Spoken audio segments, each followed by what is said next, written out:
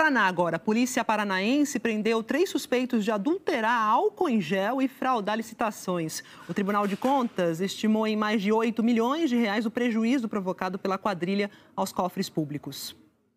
O grupo era investigado desde janeiro. Foram presos os dois donos da indústria e um profissional de biotecnologia que trabalhava no local. A polícia também fez buscas em Curitiba e São José dos Pinhais, na região metropolitana. Segundo as investigações, amostras do álcool gel vendido pela empresa apontaram que o produto tinha concentração até 10% menor do que o mínimo exigido pela Anvisa.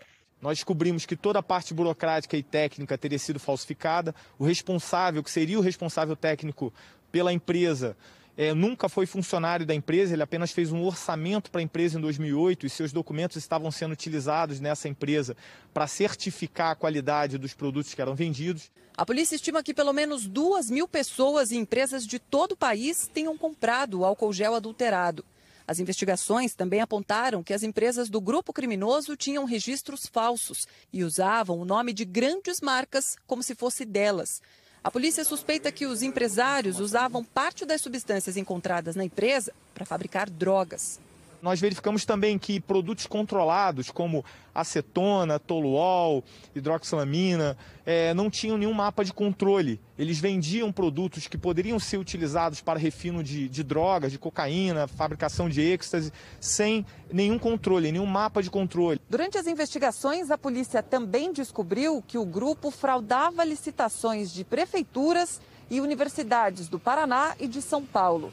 O Tribunal de Contas do Estado estima que de 2013 para cá, as empresas tenham recebido mais de 8 milhões de reais do poder público.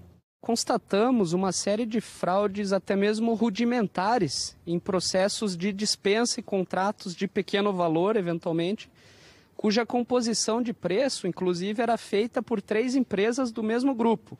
Três empresas que, na verdade, eram uma única empresa Além dos presos na operação de hoje, outras pessoas devem ser indiciadas, entre contadores, advogados e outros empresários. A polícia não descarta a possibilidade da participação de agentes públicos nas irregularidades.